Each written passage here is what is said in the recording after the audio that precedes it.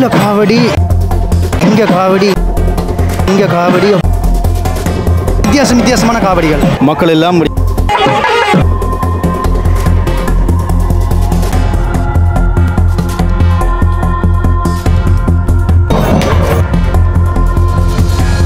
தீ மிதிப்பு வந்து இடம்பெறும். காவடியில் ஃபேமஸான ஒரு கோவில் உண்டு.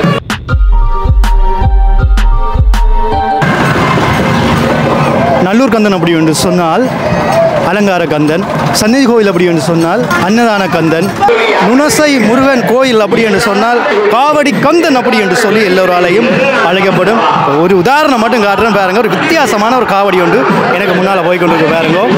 இந்த கோவிலில் எப்படி தேர் திருவிழா இடம்பெறுகிறது தேர் சிற்பங்கள் எப்படி இருக்கிறது மக்கள் எப்படி எல்லாம் திருவிழா கொண்டாடுறார்கள் எப்படி வித்தியாசமான காவடிகள் எல்லாம் வருகிறது அப்படின்னு சொல்லி நாங்கள் பார்க்க போகின்றோம். பல விஷயங்கள் இந்த கோயிலில் பார்க்காத விஷயங்கள் இருக்கிறது. விதுட்டு யூடியூப் சேனலில் முதன்முறையாக பார்க்குறீங்க அப்படின்னு சொன்னால் மறக்காம. சப்ஸ்கிரைப் பண்ணிட்டு இந்த காணொளி எல்லாத்தையும் பாருங்க. முந்நூறு ஆண்டுகள் பழமையான ஒரு கோயில். நீங்க பார்க்கறது தான் நுண்ணாசை முருகன் ஆலயத்தினுடைய வாசல் இந்த பகுதி. இடத்திலே இந்த ஆலயம் இலங்கை யாழ்ப்பாணத்தில் மாதகல் பகுதியில் வந்து அமைந்திருக்கிறது. இப்போ நாங்கள் கோயிலுக்குள்ள போகிறோம்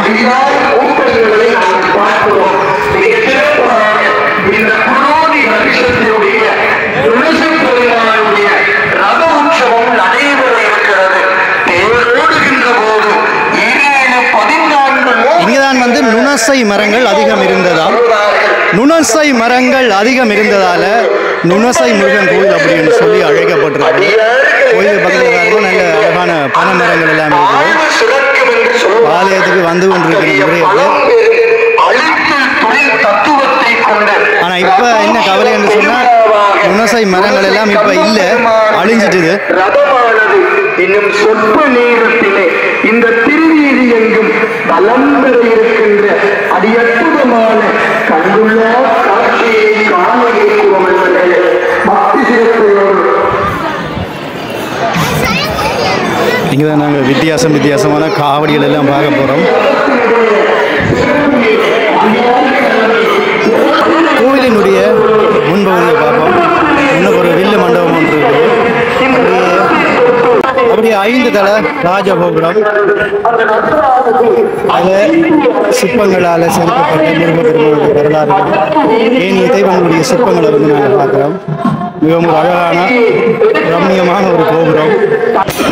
பாருங்க இவ்வளவு அழகான ஒரு முருகன் கோவில். இந்த முருகன் கோவிலுடைய வரலாறுகள் இந்த தீரினுடைய வரலாறுகள் எல்லாம் நான் சொல்ல போகிறேன் அது மட்டும் இல்லை இப்போ தான் வட கயிறை வந்து குடிக்கணும் பாருங்க.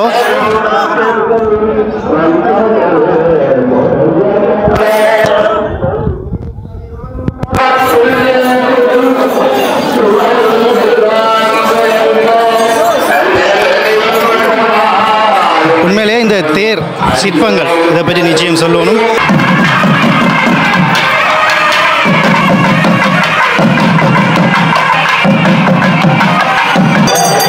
இப்பொழுது தேரை வந்து விழிக்கணும் பாருங்கோ.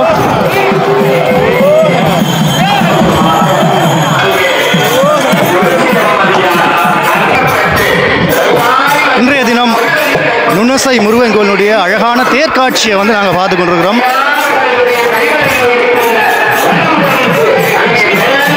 சரியா பதினோரு மணி ஐந்து நிமிஷத்துக்கு வந்து தேரை வந்து இழுத்திருக்கணும் பாருங்கோ.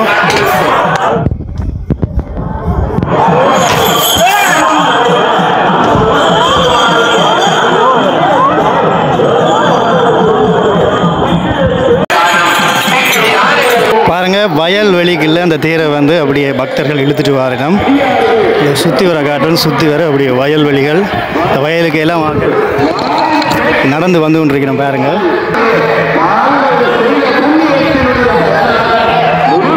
பெண்களும் ஆண்களுமாக தேரை வந்து இழுத்து கொண்டிருக்கிறோம்.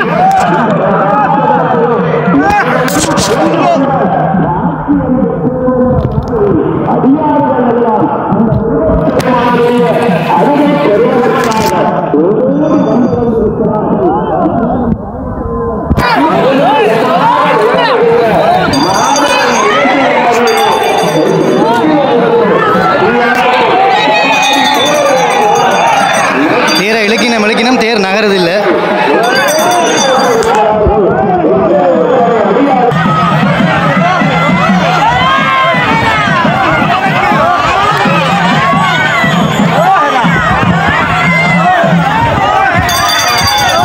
தேரிலே எழுந்தருள் இருக்கின்ற சுவாமியை நாங்கள் பார்த்தோம். அதாவது முருகப் முருகப்பெருமானை பார்த்தோம்.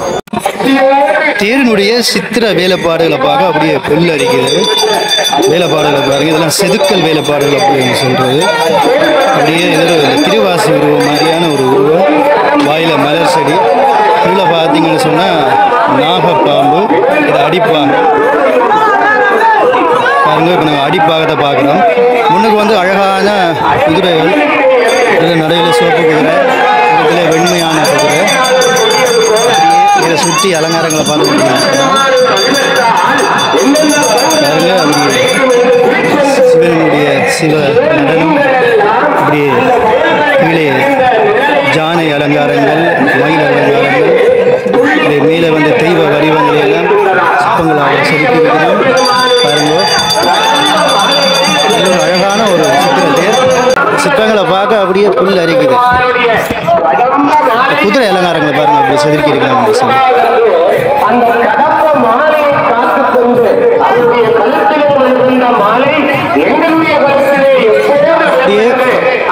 இந்த சித்திரத்திற்கு மேலே இன்றைய நாள் முருகப்பெருமான் எழுந்தருளி இருக்கிறார்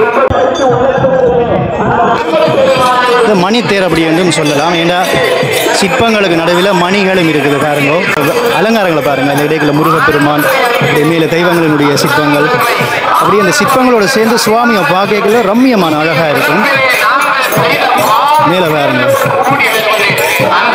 இதை சொல்கிறது தேரனுடைய கூரை வேலைப்பாடுன்னு சொல்லி. இந்தியாவில் வந்து தேரை கட்டுவாங்க. யாழ்ப்பாணங்களில் பெரும்பாலான கோயில்களில் கட்டுமுறை இல்லை. இது அப்படியே கோயிலினுடைய விமானம் போல அமைந்திருக்கும். நீல கலசம். அப்படியே நாங்கள் பார்த்தோம்னா அந்த தேரனுடைய அழகை நீங்கள் ரசிக்கலாம். அப்படியே தேருக்குள்ளே இந்த வேலைப்பாடுகளை இப்படி செய்வாங்க. வெயில் இந்த வெயிலுக்குள்ள பக்தர்கள் எல்லாரும் பக்தி பூர்வமாக இழுத்து கொண்டிருக்கணும். முக்கியமாக நாங்கள் இந்த சில்லை பார்க்கணும். தேர் சில்லு இந்த அமைப்பை பார்த்தீங்கன்னு சொன்னால் இதை நான் இப்போ தான் பார்க்குறேன். தேர் சில்லில் வந்து அந்த சில்வர் வேலைப்பாடு செய்திருக்கணும். அதை வந்து அப்படியே சில்ல எடுக்க போடுற பாட பாருங்க. உள்ள ஒரு கஷ்டம். ஒரு ஐந்து அடி உயரம் பெற மண்ணளவா நல்ல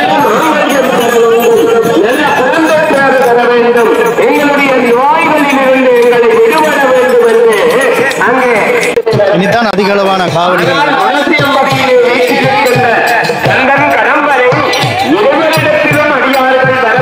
உண்மையிலேயே இந்த தேரினுடைய அழகியல் ரீதியான வேலைப்பாடுகளை இந்த தேர் இழுக்கைகளில் பார்த்து சொல்கிறதுன்றது ரொம்ப கடினம். அதுக்குள்ளேயும் நான் இந்த அழகியல் வேலைப்பாடுகளை பார்த்து உங்களுக்கு சொல்லியிருக்கிறேன்.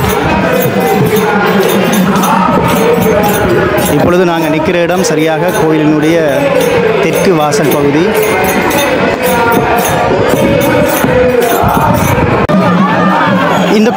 தெற்கு வாசல் வீதியில் வந்தேன். இன்னொரு விஷயம் அவதானிச்சேன். இதை பற்றி நிச்சயமாக சொல்லி ஆகணும். இதை வேறுங்கோ இல்லை இந்த இந்த கட்டப்பட்டிருக்கிற இந்த கல் வந்து யாழ்ப்பாணத்தினுடைய பொலிகள் வேலைப்பாடு. இது நீங்கள் அஸ்தி வேரம் அதாவது யாழ்ப்பாணத்தில் அஸ்தி வேரம் போடுற கல் தான் இது. இதில் தான் முந்தி இந்த கட்டிடங்கள் கட்டுற வேலைகள் இருந்திருக்கு. அதாவது ஆலயத்தினுடைய கோபுர அடித்தளம் இதெல்லாம் அமைப்பார்கள். இப்போ என்ன செய்யணும்னு சொன்னால் சில ஆலயங்களில் இந்த முறையை வந்து மறைக்கணும். அதாவது கூட பெயிண்ட் அடிச்சிட்டினம் இப்போ வெள்ளை பெயிண்ட் அடித்து வர்ண பெயிண்ட் அடிச்சிருக்கணும் இது எங்களுடைய யாழ்ப்பாணத்து தமிழர்களுடைய ஒரு நுண்ணியமான வேலைப்பாடு. எப்படி கருங்கல்லில் வெட்டி இப்படி செய்வார்களோ இப்போ எல்லாம் கருங்கல்லாம் இந்த வேலைப்பாடுகள் கூட செய்யணும். அதே மாதிரி இப்படியான வேலைகளை யாழ்ப்பாணத்தில் முந்தி செய்திருக்கிறாங்க. அதையும் உங்களுக்கு காட்டுறேன். இப்படியே பாருங்க. தீரையும் இப்படியே உங்களுக்கு காட்டுறேன் பாருங்கள் நான் பார்த்த சித்திர தேரில் இந்த முருகப்பெருமானுடைய இந்த தேரும் ஒன்று. இன்னொரு விஷயம் அவதானிச்சுன்னு இந்த ஊரில் தண்ணி எந்த ஆழத்தில் இருக்கும் அப்படின்னு சொல்லி பார்ப்போம். எனக்கு பக்கத்தில் ஒரு கிணறு இருக்குது பாருங்கள் வாவ். தண்ணி ரொம்ப குறைவான ஆழத்தில் தான் இருக்குது பாருங்கள் அப்படியே வயல் இந்த வயலும் அப்படியே பச்சை பசல் என்று இருந்திருந்தால் இந்த தேர் காட்சி இன்னும் அழகாக இருந்திருக்கும். கோபுரத்தையும் தேரையும் தெற்கு வாசல் கோபுரத்தையும் அப்படியே பாருங்கள் நல்ல இனிமையான ஒரு காற்று உண்டு அடிக்குது இந்த இடத்துல.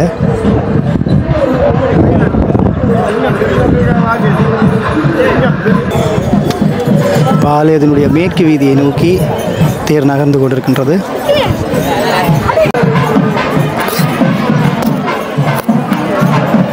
அப்படியே பின்னுக்கு வித்தியாசம் வித்தியாசமான காவடிகள் எல்லாம் வந்திருக்கிறது.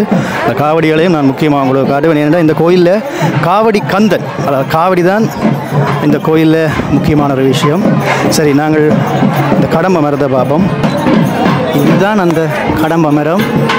இந்த மரத்தில் தான் மேலிருந்து இந்த ஆலயம் வந்து தோற்றம் பெற்றது. பல ஆயிரம் வருஷம் பழமையான இந்த மரம். இன்னும் கண்டுபிடிக்கல. இதுதான் அந்த மரம். நான் கிட்டவா கொண்டே காட்டுறேன்.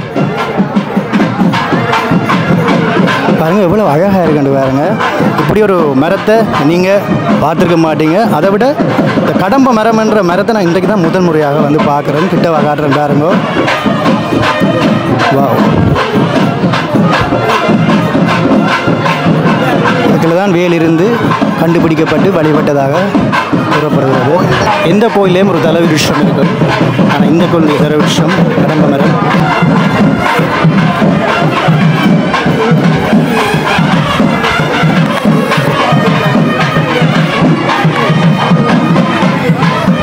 இப்போ இந்த கடம்ப மரத்துக்கு தேர் வந்ததுமே சிறப்பு பூஜைகள் வந்து இடம்பெற்று கொண்டிருக்கிறது.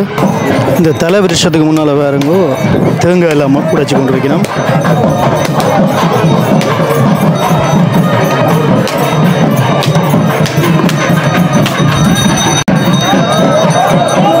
வருஷத்துக்கு முன்னால் பூஜைகள் வந்து உள்ளே இடம்பெற்று முள்ள மீள தாளங்களோட பூஜைகள் இடம்பெற்று இப்பொழுது தேருக்கு வந்து ஐயர் பஞ்சாயராதி தீபம் காட்டுகின்றார். பிறகு என்ன நடக்குன்னு சொன்னால் படையல்கள் எல்லாம் கொண்டு போயினோம். எப்பவும் தல விருட்சங்கள் வந்து மிக பிரம்மாண்டமாகவும் பெருசாகவும் இருக்கும்.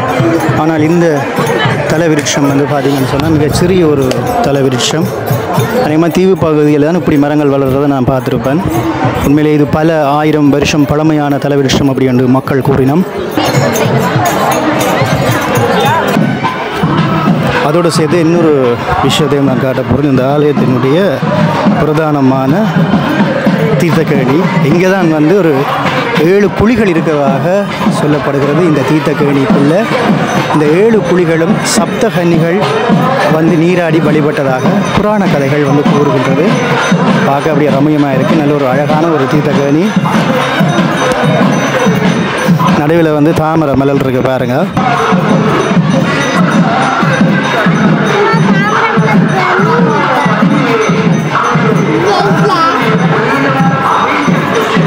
நான் பார்த்த தீர்த்தக்கேணிகளில் ரொம்ப அழகான தீர்த்தக்கேணிகளில் இந்த தீர்த்தக்கேணியும் வந்து உண்டு. அப்படி அங்கால வந்து பார்த்தீங்கன்னு சொன்னால் தாகசாந்திகள் எல்லாம் கொடுத்து கொண்டிருக்கிறோம்.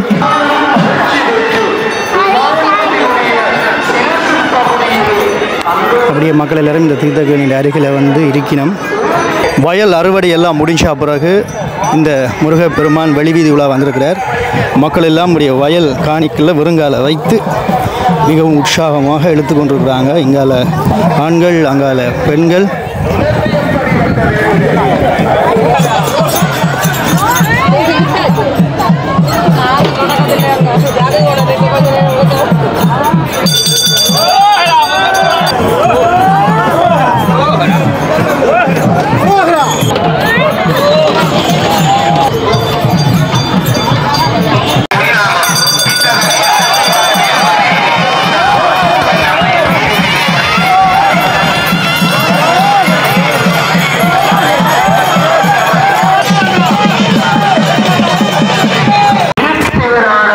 விஷயத்தையும் முக்கியமாக இந்த ஆலயத்தில் பக்தியோடு இவர்கள் செய்வார்களாம். அதுதான் வந்து இந்த ஆலயத்தில் தீ குளிக்கிற ஒரு முறை ஒன்று இருக்குது.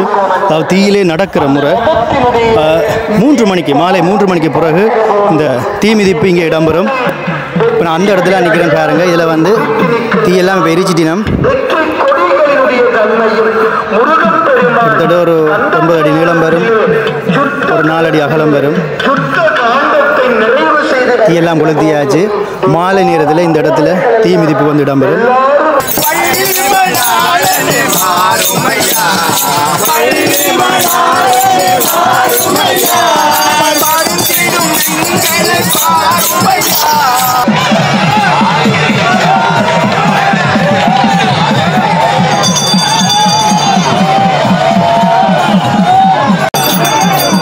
உங்களுக்கு வித்தியாசம் வித்தியாசமாக இந்த தேரனுடைய ரம்மியமான காட்சிகளை வந்து நீங்கள் பார்த்துருப்பீங்க. மறக்காம வீடியோ யூடியூப் சேனலில் முறையாக பார்க்குறீங்க அப்படின்னு சொன்னால் மறக்காமல் சப்ஸ்கிரைப் பண்ணிவிட்டு காணொலிகள் எல்லாத்தையும் பாருங்கள் எனக்கு இந்த தேர் வந்து ஒரு வித்தியாசமான ஒரு அனுபவம்.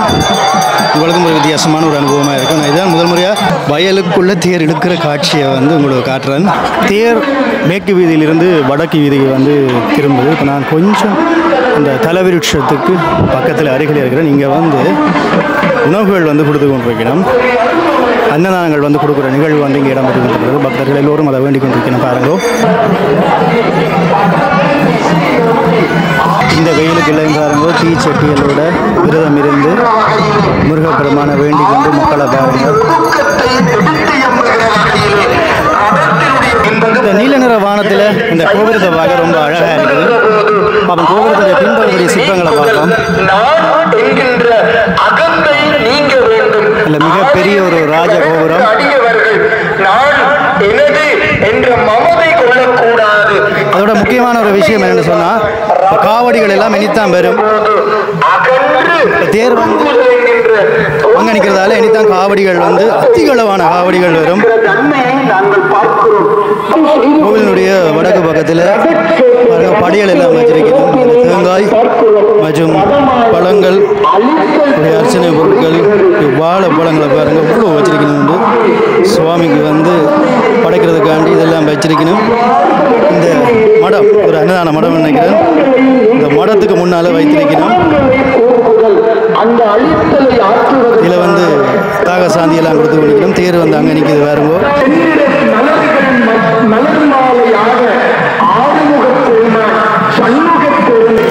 எப்போ நான் ட்ரிங்க்ஸ் குடிக்காமல் சர்பத் குடிக்காமல் போக மாட்டேன் சரியான வெயில் ஒரு கிட்டத்தட்ட முப்பத்தைந்து வகை செல்சியஸ் மேலே வெப்பநிலை மேலே வந்து ட்ரிங்க்ஸ் குடிக்கணும் மேலே வந்து சர்பத்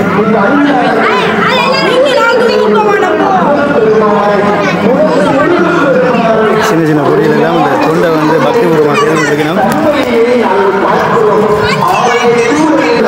வெயிலுக்கு குடிக்க நல்லா தான் இருக்குது. வித்தியாசமான ஒரு காவடி உண்டு எனக்கு முன்னால் போய் கொண்டு பாருங்க. இதே மாதிரி பல வகையான காவடிகளை வந்து இனி நாங்கள் பார்க்க போகிறோம் மறக்காமல் சப்ஸ்கிரைப் பண்ண மறந்துடாதீங்க. முதலாவது நாங்கள் பார்க்குற காவடியை பார்ப்போம். இங்கே வந்து நல்ல மிரல் இருக்குல்ல. ஒரு பெரிய பெரிய காவடியில் தூக்கி கொண்டு ஆடிக்கொண்டு பாருங்க.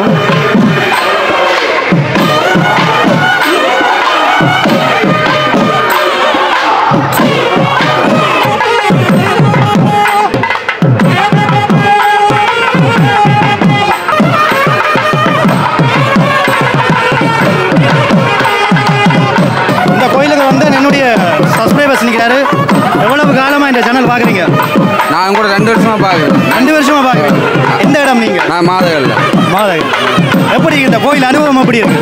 நான் என்ன இது காவடியில் ஃபேமஸான ஒரு கோயில் உண்டு. காவடி கந்தன். காவடி கந்தன் ஆமா. அது நல்லா இருக்கு. காவடி கொஞ்சம் குறைவு. செத்த வீடுகள் வந்ததில் கொஞ்சம் குறைவாக இருக்கு. நல்ல நல்ல விசேஷம். எனக்கு பின்னால வேற level அடியா இருக்கு. மேல தாளங்கள் தொடர்ந்து பாருங்க. உங்களை சந்திச்சது சந்தோஷம். உங்களை கண்ணோடனே நான் பார்த்தேன். நீங்கள் லானோன்னு பார்த்து யோசிக்கிறேன். ரொம்ப சந்தோஷம். சரி நாங்க காவடியை காட்ட போறோம். பாய் உங்க பேர் என்ன. தர்னீஷ். ஓகே தேங்க்ஸ் நன்றி. இனி நாங்க பார்க்க போறது வித்தியாசமான பறவை காவடிகள். இந்த பறவை காவடியை பாருங்க. அப்படியே மேலே வந்து நான்கு வளையம் அப்படியே துள்ளி துள்ளி ஆடுற மாதிரியான ஒரு பறவை காவடி. இப்படி அங்காலே ஒரு பறவை காவடியை பார்த்தீங்கன்னு சொன்னால் சப்பானி கட்டி ஆடுற மாதிரியான ஒரு பறவை காவடி. மேலே பார்த்தீங்கன்னு சொன்னால் மேலே வந்து இப்படி தான் ஆட்டுவாங்க.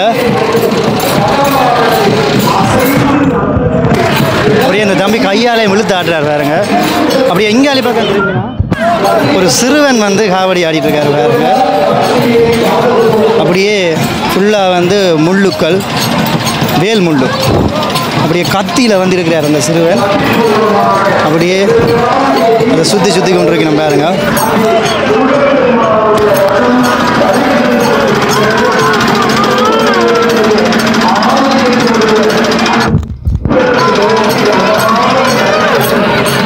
அடுத்த காவடி அடுத்த காவடிகள் வந்து இங்கே என்ன விசேஷம்? வித்தியாசமான காவடிகள் தான் விசேஷம். எல்லா கோவிலையும் காவடி எடுப்பார்கள். இங்கே கொஞ்சம் வித்தியாசமாக எடுப்பார்கள். இதுதான் பறவை காவடி அப்படின்னு சொல்கிறது மேலே பார்த்தீங்கன்னு சொன்னால் ஒரு தம்பி இருந்து ஆடிட்டு இருக்காரு பாருங்க இங்கே. இங்கே வந்து முக்கியமான விஷயம் பாடல்கள் எல்லாம் நிறுத்தியாச்சு. அதற்கு பிறகு பார்த்தீங்க அப்படின்னு சொன்னால் இதில் ஒரு வித்தியாசமான ஒரு காவடி இருக்குது பாருங்க. இந்த காவடியும் கத்திக்கு மேலே தான் வந்து ஆறினம் இது கிட்ட கொண்டு போய் காட்ட முடியாத சில நிலைமைகள் இருக்குது. கொப்ரைட் கிளைம் வந்துருமா இல்லை ஜெலோ கண்டன் வந்துருமான்னு பயமாக இருக்குது. ஏண்டா இப்போ முந்தி மாதிரி இல்லை யூடியூப் சேனல்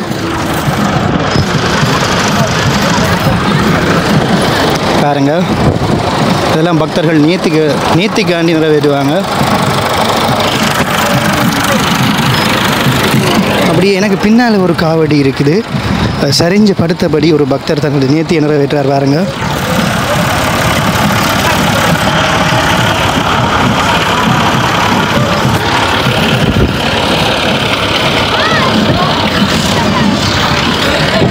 இன்னும் ஏராளமான காவடிகள் வரும். உங்களுக்கு நான் காட்டுறேன்.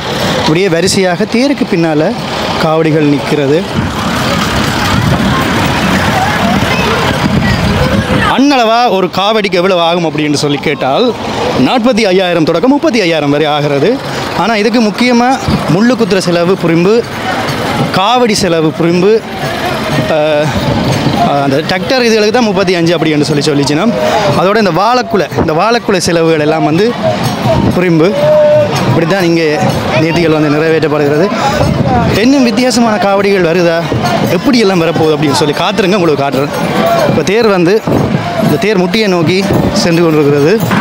இந்த ஐயாவுக்கு பின்னால் வித்தியாசமான ஒரு காவடி வருது பாருங்க. இங்கே பாருங்க. இப்படியெல்லாம் காவடியை நீங்கள் எங்கேயுமே பார்க்க மாட்டீங்க.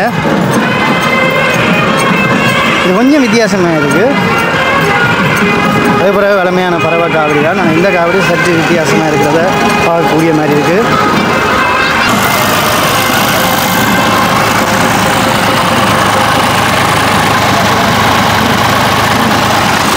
அதுக்கு பின்னால் இன்னும் வித்தியாசமாக காவடிகள் வருகிறது. பாபம் அதே காவடியெல்லாம் காடின காவடியெல்லாம் நடந்து கொண்டிருக்கிறது. ஒரு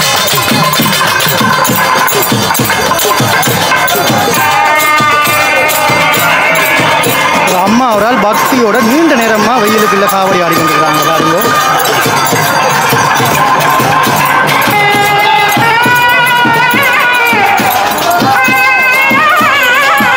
கால் வந்து வைக்க இல்லாத அளவுக்கு சுடுவது அதுக்குள்ளேயும் வந்து பாருங்க பிரதர்ஷிட்டு அடிச்சு கொண்டிருக்கணும் பாருங்க. தேரை வந்து தேர்னுடைய இருப்பிடத்துக்கு கொண்டு போயிருந்தோம். வருஷத்துக்கு ஒரு முறை இடம்பெறுகின்ற இந்த தேர் காட்சியை நீங்கள் பார்த்து கொண்டிருக்கிறீங்க. மிகவும் ஒரு அற்புதமான காட்சி. இந்த மத்தியான நேரத்திலையும் இந்த வெயிலுக்குள்ளேயும் பக்தர்கள் மிகவும் பக்தியோட தேர்ந்தெடுக்கிற இருக்கிற காட்சி நீங்கள் பார்த்துருப்பீங்க.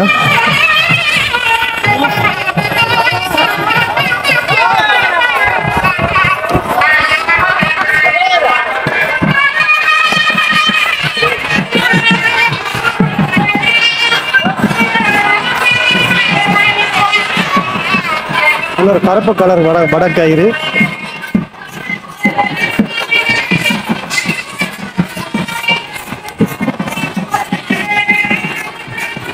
அதோட இந்த காவடிகளுடைய பவனியை வந்து நீங்கள் பார்த்து கொண்டிருக்கிறீங்க. வித்தியாசம் வித்தியாசமான காவடிகள் மற்றும் இந்த மக்களுடைய காரணம் மாதிரிலாம் கூட வெயிலுக்குள்ள விழுந்தெல்லாம் வணங்கி கும்பிடுறீங்கன்னா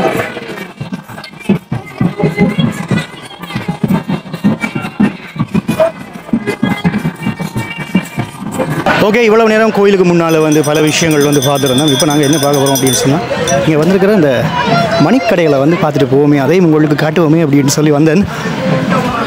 பாருங்கள் நல்ல நல்ல ஸ்வீட் ஐட்டங்கள்லாம் இருக்குது. இது ஒரு சின்ன காணி அதுக்குள்ளே வந்து அழவா வந்து மணிக்கடையில் வந்து போட்டிருக்கணும். எல்லாம் சிறு வயசில் நாங்களெல்லாம் இந்த இடத்துக்கு வந்தால் ஒரு விளையாட்டு சாமான் வாங்காமல் போக மாட்டோம். அப்படியே எங்களை வந்து பார்த்தீங்கன்னு சொன்னால் ஃபுல்லாகவே ஐஸ்கிரீம் கிடையாது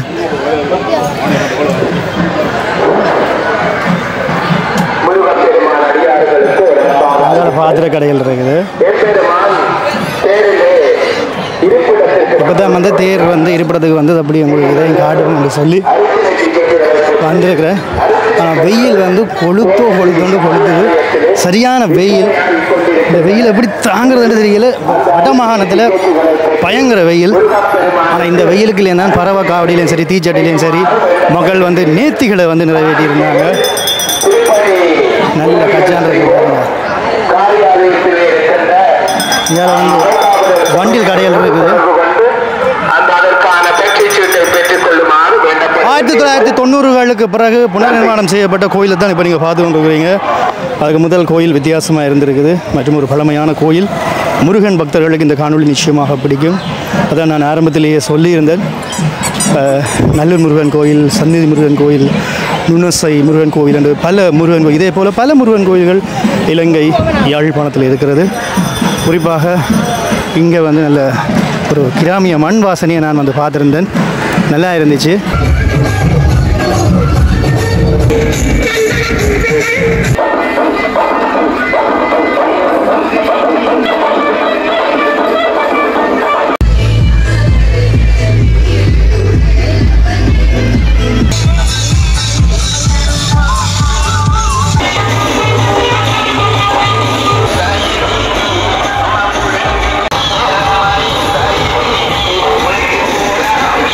ரைட் இதோட வந்து நான் காணொலியை வந்து முடிக்க போகிறேன் விதுடோக் யூடியூப் சேனலில் முதல் முறையாக பார்க்குறீங்க அப்படின்னு சொன்னால் மறக்காமல் சப்ஸ்கிரைப் பண்ணிவிட்டு காணொலியில் பாருங்கள் அடுத்த காணொலியுடன் உங்களை நான் சந்திக்கும் பிறகு என்றும் உங்கள் அன்பான விது டாட்.